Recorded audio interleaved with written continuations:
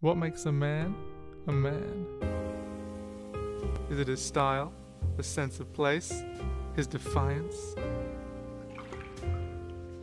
Perhaps it's the way he carries his beard, the unshaven sensation.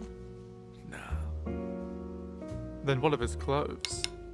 Surely a man is defined by the way he dresses. No, my friends. It's none of these things. You see, what makes a man a man is the way he smells.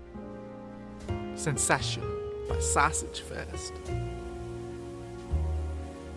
The new fragrance for men out them.